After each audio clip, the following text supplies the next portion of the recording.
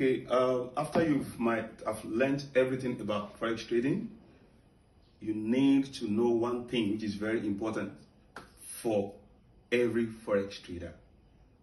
You need to be organized. Like we always tell traders, plan your trade and trade your plan. Plan your trade and trade your plan. That is where discipline comes in. After you might have, you know, you know, brought up a very powerful strategy, then you need discipline to follow that plan. So you must plan your trade and ensure that you trade only the plan. Don't compromise the standard of your trading strategy. All right, and you need to subject your trading strategy to uh, to, to, to, the, to, to, to, to a very reasonable length of time allow it to pass the test of time. Don't just jump from strategy to strategy. The market is huge. You are trading against a lot of big sharks in the ocean, and you're just a very small fish in a very mighty ocean that is full of big sharks. So you need to get organized. Don't jump from system to system.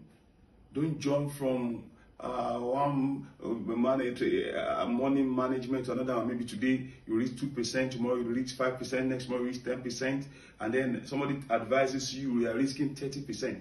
Things are not going to work. So you must be organized. When you get organized, then you will understand the simplicity of the market.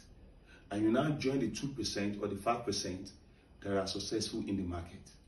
So what I just have to tell you, either you are using technical indicators or you are using uh, fundamental analysis or you are using price action, regardless of whatever you are using, the most important thing is what?